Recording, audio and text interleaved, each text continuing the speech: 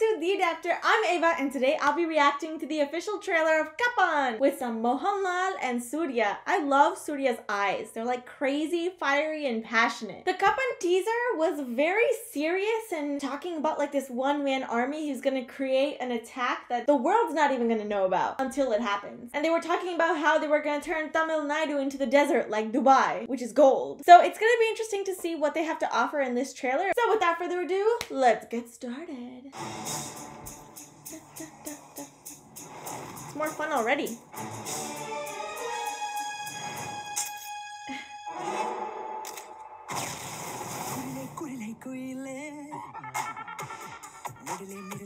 Wow, that, those are that's beautiful.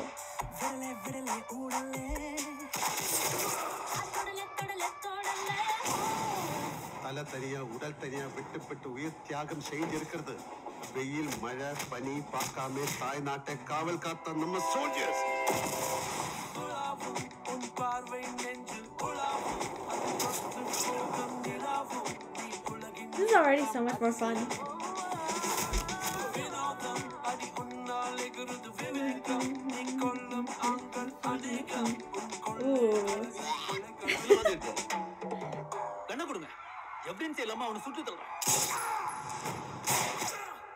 Book கொடுத்தத வச்சுட்டு நான் என்னமோ உன்னை லவ் பண்றேன்னு நினைச்சிடாத புரியுதா? புரியுது.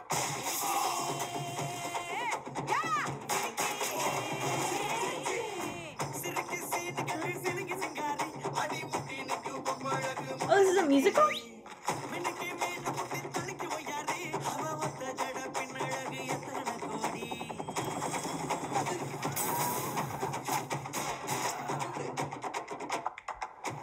பலி கொடுத்து தான் நூறு உயிரை காப்பாற்ற முடியும்னா?